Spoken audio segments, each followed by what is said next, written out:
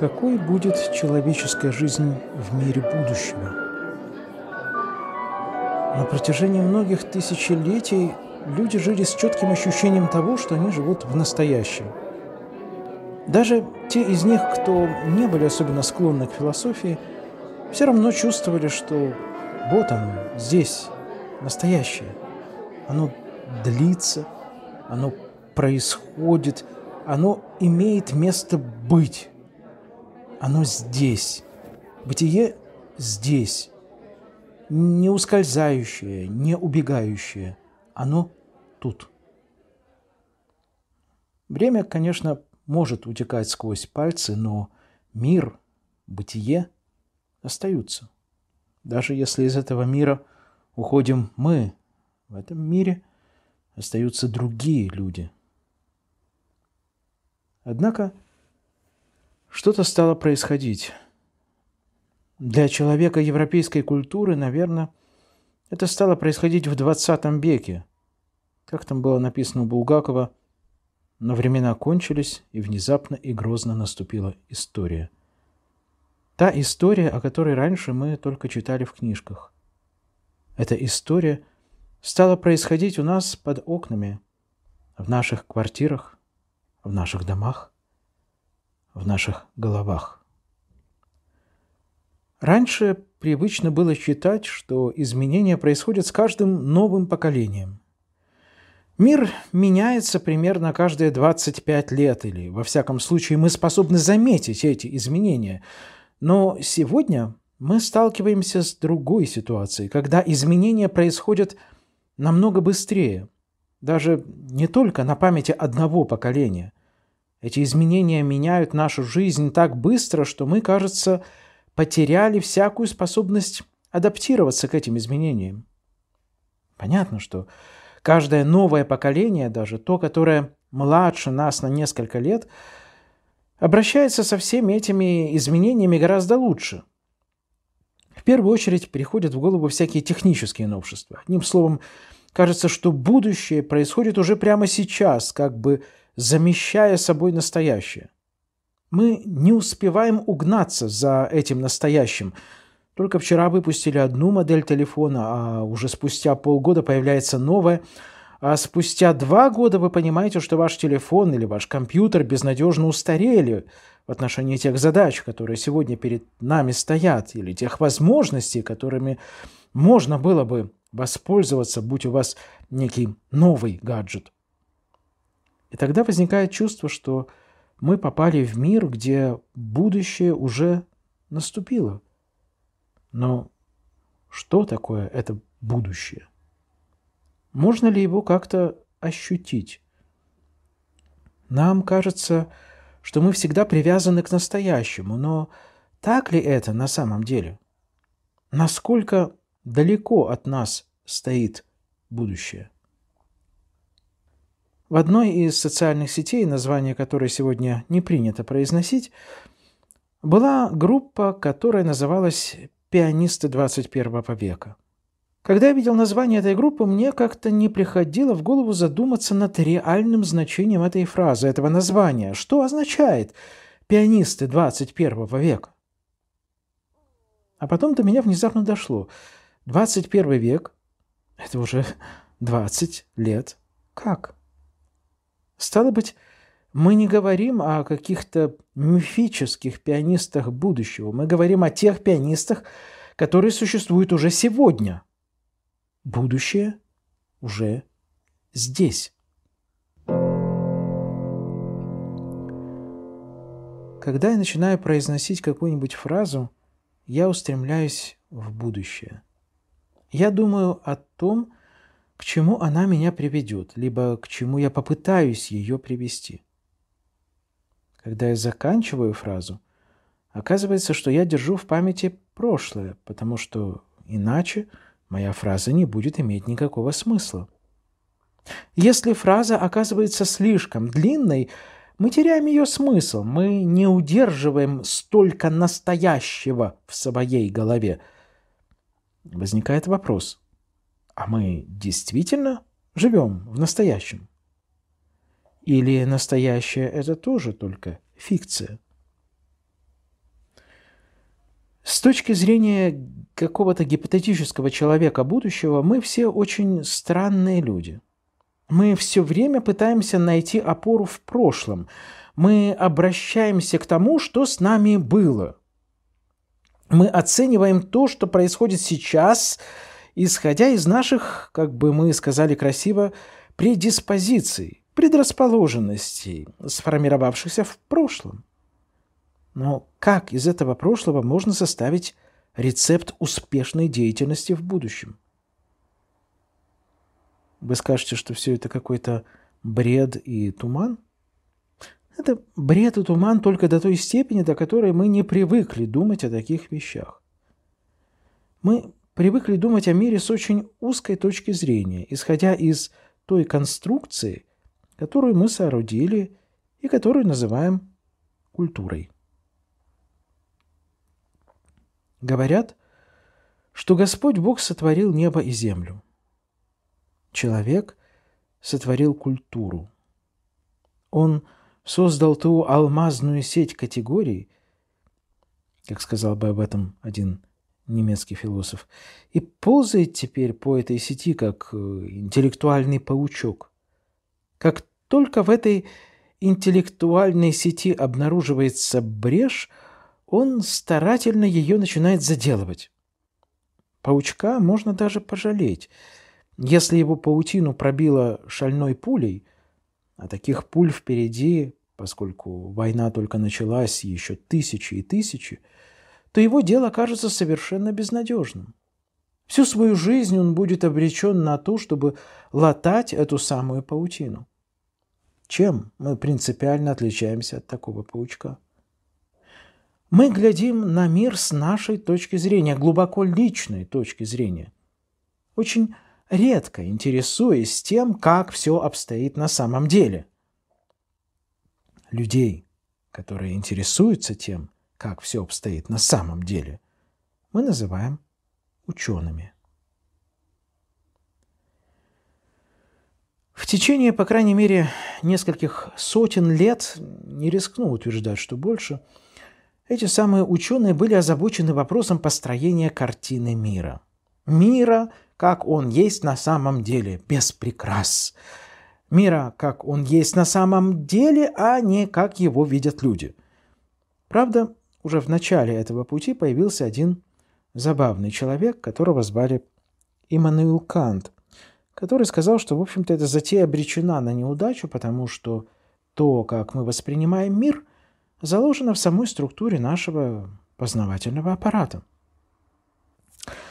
Альфред Розенберг говорил, что люди вообще сохраняют здравый смысл только постольку, поскольку смотрят на мир со своей глубоко личной точки зрения, с точки зрения червя.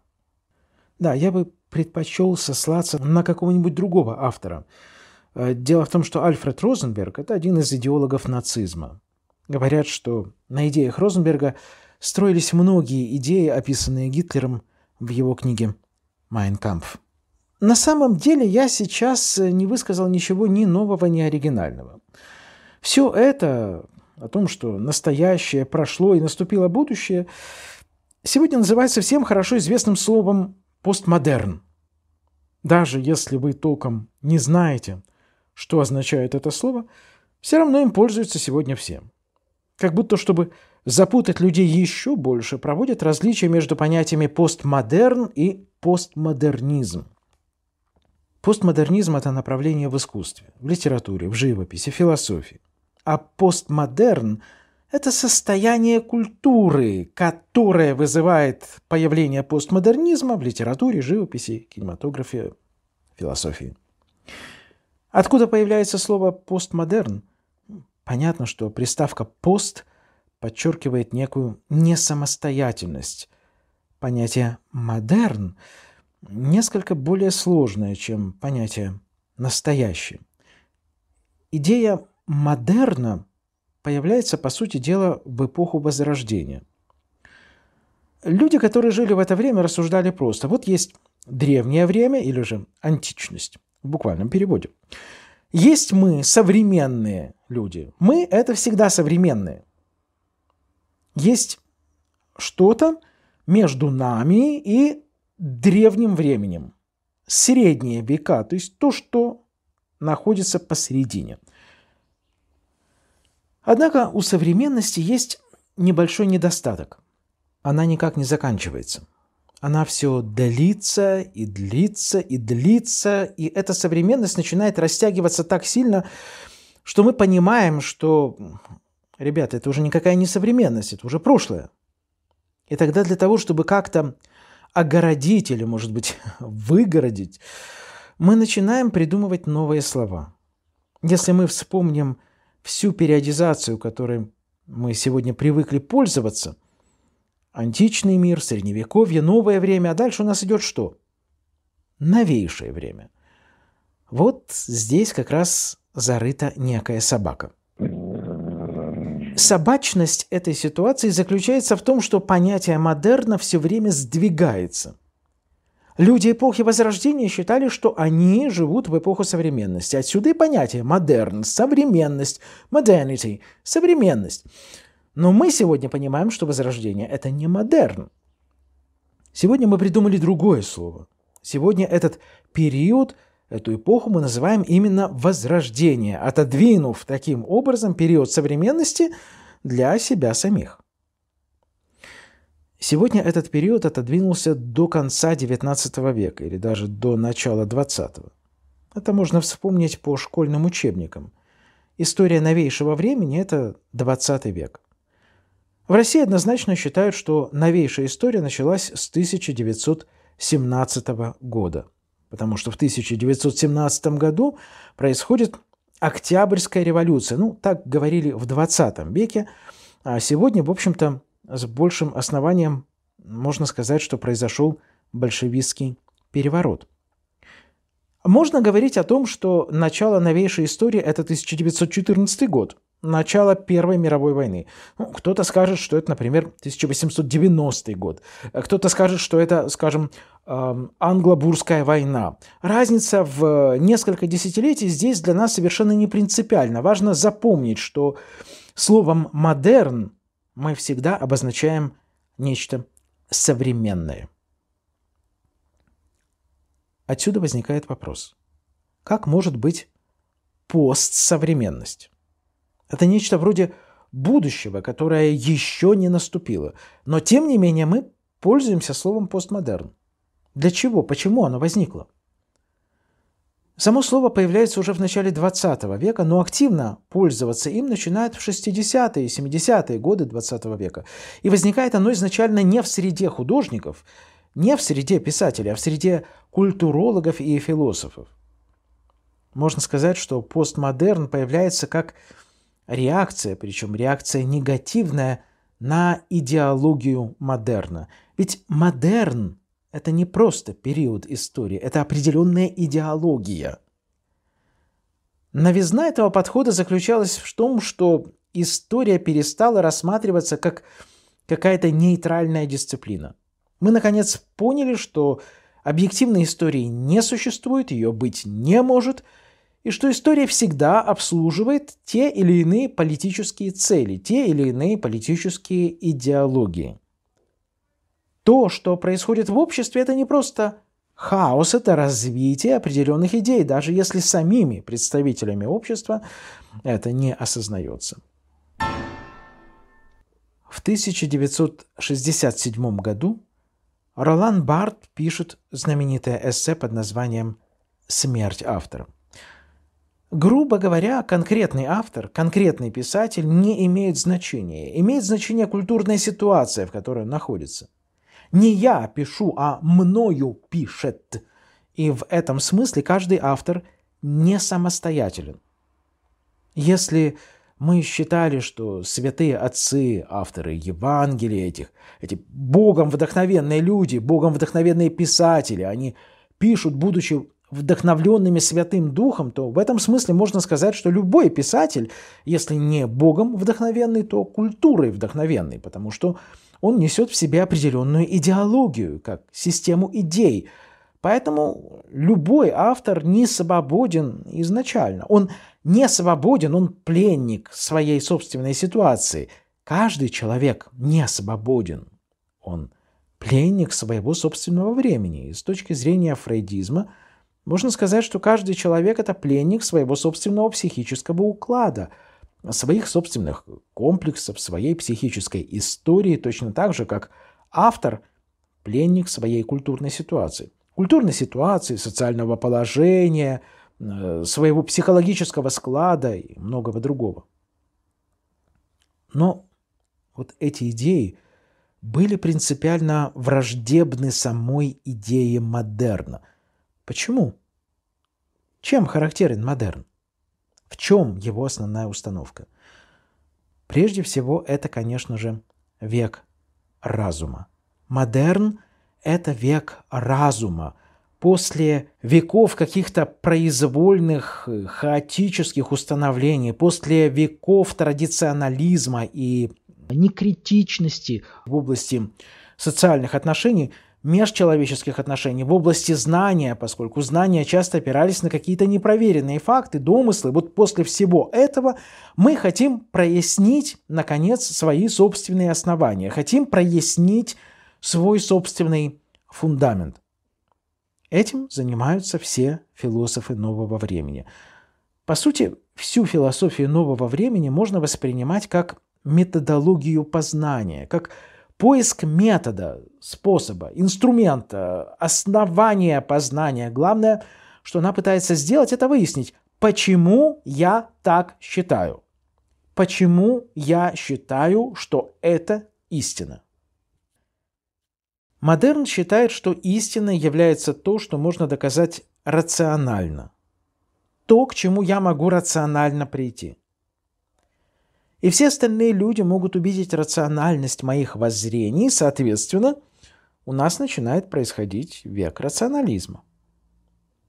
Будет это рационализм, который считает, что все происходит из разума, или тот, который считает, что все происходит из опыта, это не важно. И там, и там существует четкая логическая модель. Вот, у нас есть основания, мы, используя определенные процедуры, делаем определенные выводы, и приходим к определенным, опять-таки, результатам. Все четко и понятно.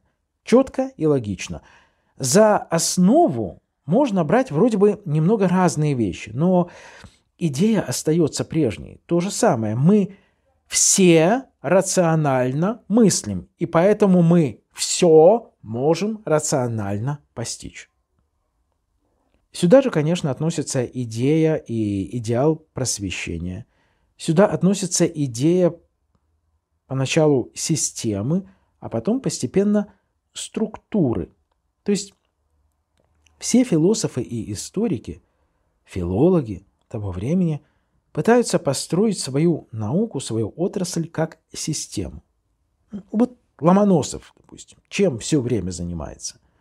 Он пишет вот эти просто парадигмальные работы по разным отраслям науки, все к этому стремится. Вот, например, написать книжку под названием «Филология» или «Физика» или «Химия». Это люди, которые не склонны писать статьи по отдельным каким-то вопросам. Они хотят сделать общую концепцию. Они хотят вложить весь мир в определенную систему.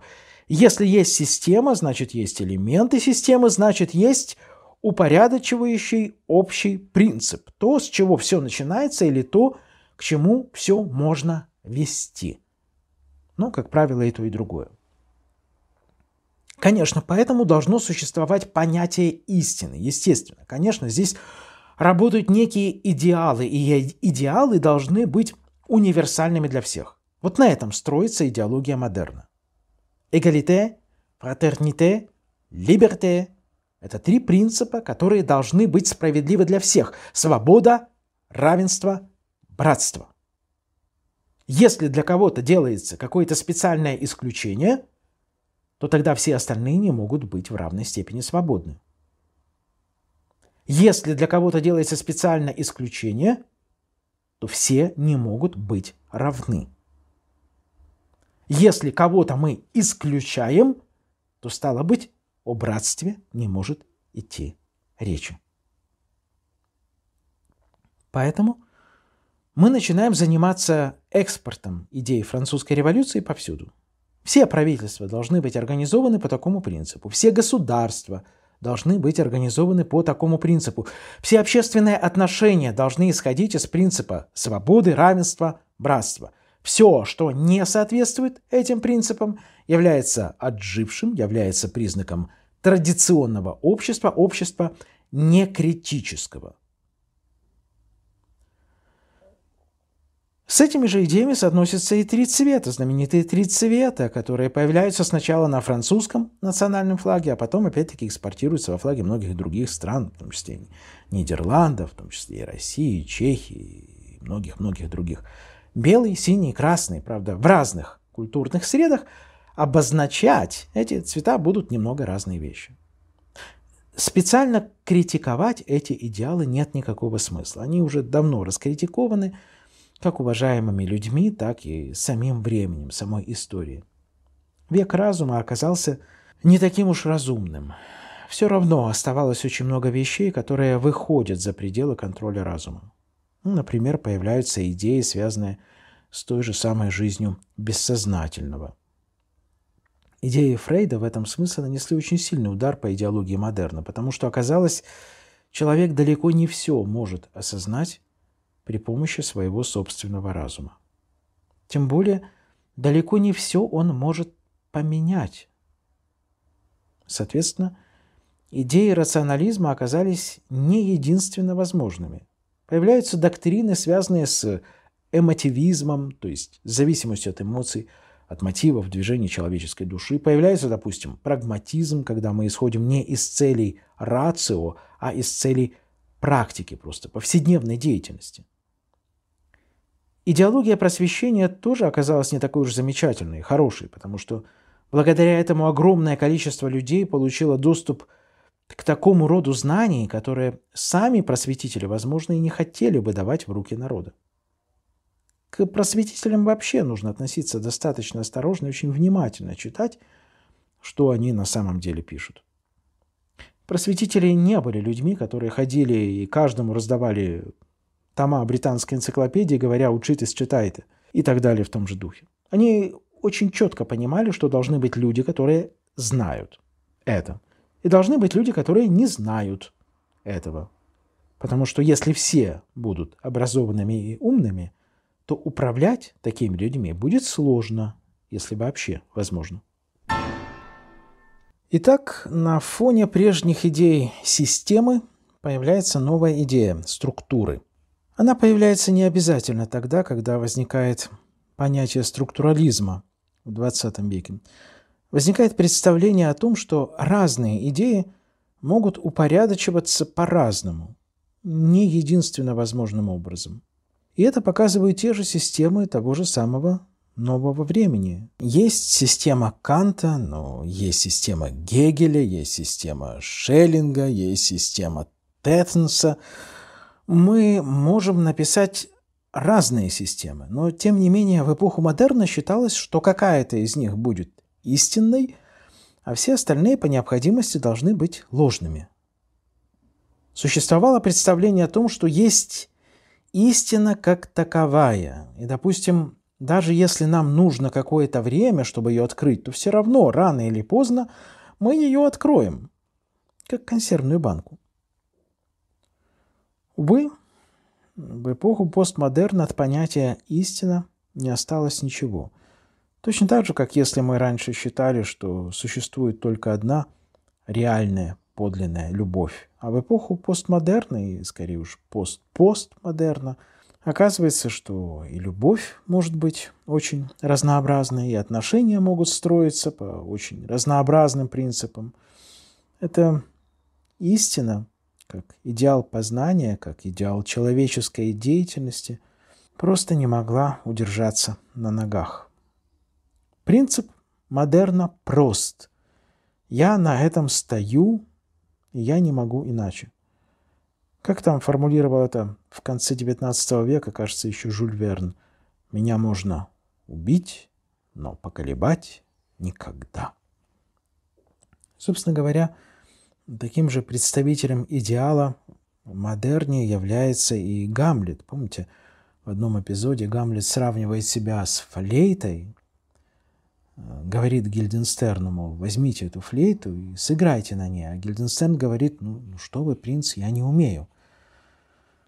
Гамлет отвечает, но это же так же просто, как лгать. Перебирайте отверстия пальцами, вдувайте ртом воздух, и из нее польется нежнейшая музыка. Видите, вот клапаны. Гильденстерн ему отвечает, но я не знаю, как ими пользоваться, у меня ничего не выйдет. Я не учился. На что Гамлет ему отвечает, смотрите же, с какой грязью вы меня смешали. Вы собираетесь играть на мне.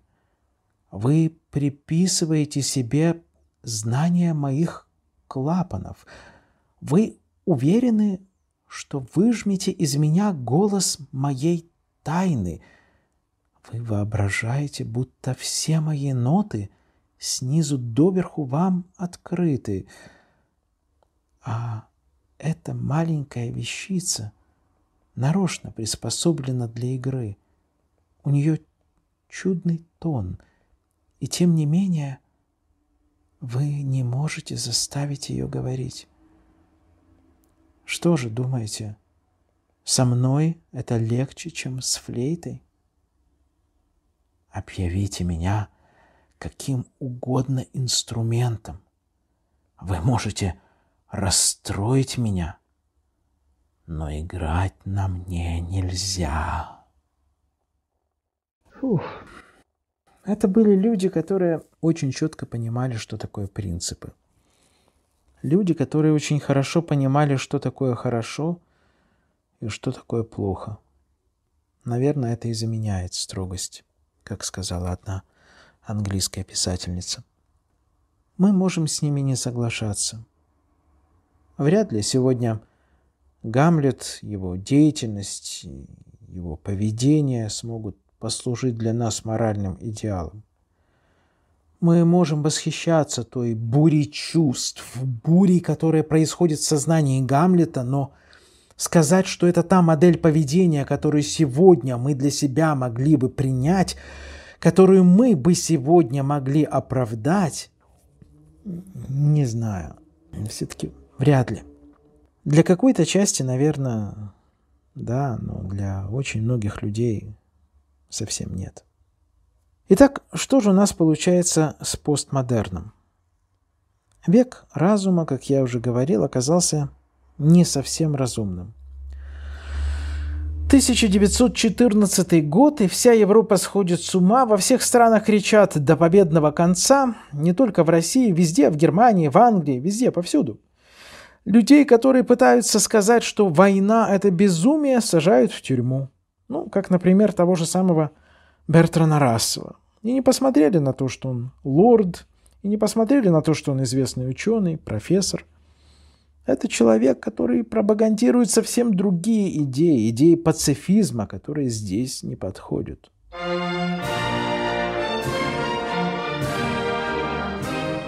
«1917 год, вроде бы с точки зрения очень многих людей, происходит революция, которая действительно меняет ход человеческой истории. Она на самом деле во многом изменила ход человеческой истории. Кажется, что вот-вот, наконец-то, удастся построить то самое замечательное будущее, так писал Михаил Афанасьевич Булгаков, которое пишется в книгах с золотым обрезом, тех самых книгах, которые пахнут шоколадом. Но вместо этого получается не блестящее будущее. Нет. Вместо этого получается кошмар. Огромнейшая страна. И не только одна эта страна. Практически вся Европа оказывается в руинах. Везде происходят революции, гражданские войны с большим или с меньшим размахом. Гибнет огромное количество людей. Новый строй, который строится теперь в России, для многих является привлекательным, но точно так же для многих он совершенно неприемлем. Когда-то в детстве, когда я узнавал о каком-нибудь замечательном человеке, который мне нравился – я бежал к энциклопедии, чтобы узнать, когда он родился и когда он умер, чтобы узнать, не посчастливилось ли ему пожить в Советском Союзе или хотя бы в то время, когда уже был Советский Союз. Мне было всегда очень искренне жаль тех людей, которые не жили в этом лучшем государстве в мире. Прошло время, и я стал понимать, что если эти замечательные люди не жили во время Советского Союза или жили, но в другой стране, то, скорее всего, им сильно повезло. В результате революции и гражданской войны Россия лишается постепенно своей элиты, творческой элиты. Та часть, которая может уехать, уезжает. Та, которая не может или не хочет, или боится, или не решаются, ее уничтожают. Главным образом в 30-е годы. Вспомню лишь некоторых. В 1917 году выехал Сергей Васильевич Рахмалинов, в 18-м Сергей Сергеевич Прокофьев, в 19-м Набоков, в 20-м Бунин, Соколов Микитов, Гиппиус, Мережковский, Бальмонт, 21-м Метнер, Андрей Белый, Ремезов, Зайцев, Оренбург, Кандинский, в начале, в середине 22-го Шаляпин, Цветаева, Шкловский, Берберова, Ходосевич. Философский пароход 1922 года – Франк, Трубецкой, Сорокин, Лоски, Лапшин, Кизеветтер, Корсавин, Булгаков, Бердяев. Происходит настоящая культурная катастрофа. Мы наш, мы новый мир строим.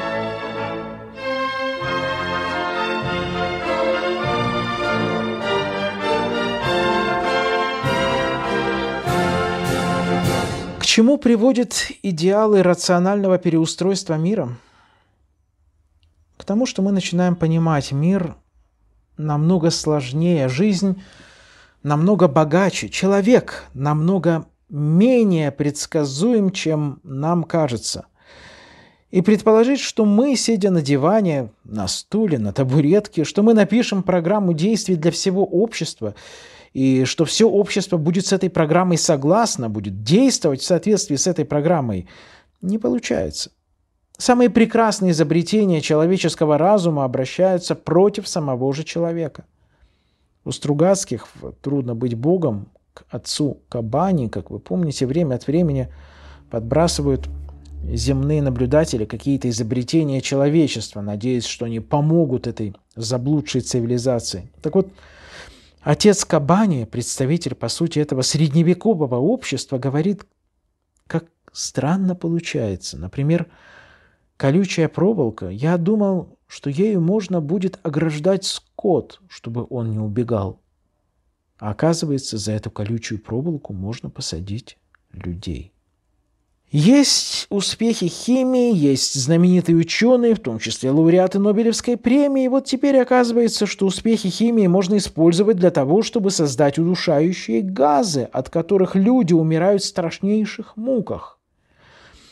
Есть успехи науки и техники, инженерии. А оказывается, можно построить мощные броненосные крейсеры, которые будут бомбить прибрежные города. А для того, чтобы бороться с этими броненосными крейсерами, можно сделать подводные лодки, которые будут таранить эти самые броненосные крейсеры. А для того, чтобы бороться с подводными лодками, мы будем сбрасывать на них глубинные бомбы, которые уничтожают не только подводные лодки, но и вообще все живое в некотором радиусе.